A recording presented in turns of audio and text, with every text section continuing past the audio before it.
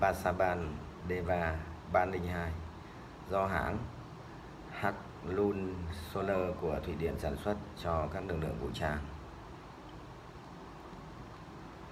Hãng tin The Kiev Independent dẫn thông báo của bộ trên xác nhận toàn bộ số xe BVB 302 trong kho là một phần trong đợt viện trợ quân sự lớn nhất của Stockholm trị giá 1,3 tỷ USD.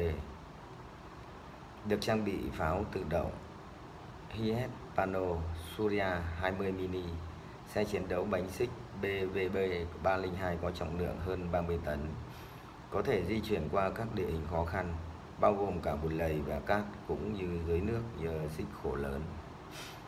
Loại xe này có lớp giáp phía trước có thể chịu được đòn tấn công trực tiếp bằng đạn 20 mini và có thể tăng tốc lên 60 km/h.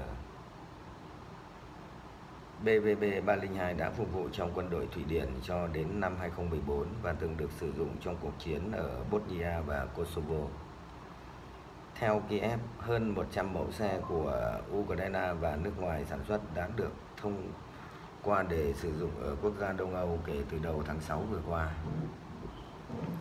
Một phần ba số này được cho là sản xuất trong nước, trong khi số còn lại được sản xuất ở hơn 20 quốc gia, trong đó có Mỹ, Anh, Đức, Thụy Điển và Italia. 60 mẫu thiết bị đã được đưa vào sử dụng trong năm 2024. Trong một diễn biến khác liên quan Ukraine, cùng ngày, Tổ chức Y tế Thế giới WHO thông báo ghi nhận 1.940 vụ tấn công vào hệ thống y tế của Ukraine kể từ khi Nga bắt đầu chiến dịch quân sự đặc biệt. Trong thông báo trong thông cáo báo chí, WHO cho biết 85% các cuộc tấn công xảy ra tại các cơ sở y tế. Đồng thời một số lượng đáng kể trong số các vụ thực được thực hiện bằng vũ khí hạng nặng.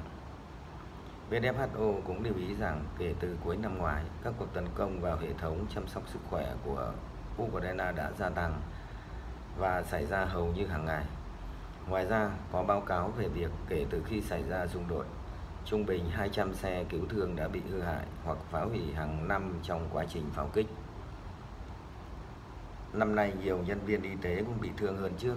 Theo dữ liệu của WHO, những người ứng cứu đầu tiên và phương tiện vận chuyển y tế có khả năng bị tổn hại do các cuộc tấn công cao gấp 3 lần.